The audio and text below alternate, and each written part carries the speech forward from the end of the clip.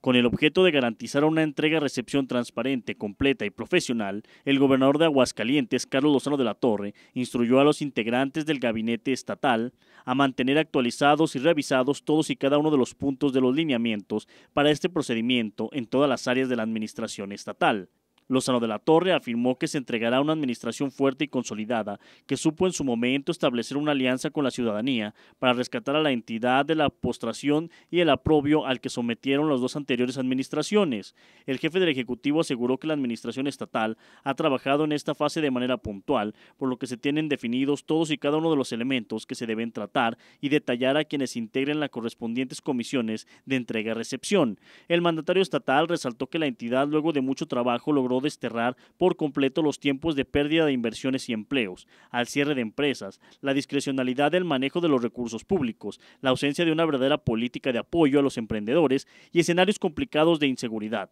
para dar paso a una entidad fortalecida, renovada y con los índices de desarrollo económico más altos del país, por lo que es vital la importancia entregar un gobierno eficaz, transparente y articulado para asegurarle a la ciudadanía el cumplimiento de sus demandas de un futuro prometedor. El titular de la CEFI, por su parte, Alejandro Díaz Lozano,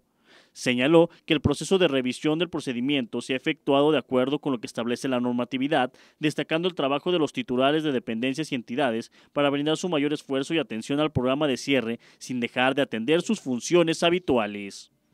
Con imágenes de Gerardo Santoyo para Informativo, Adrián Martínez.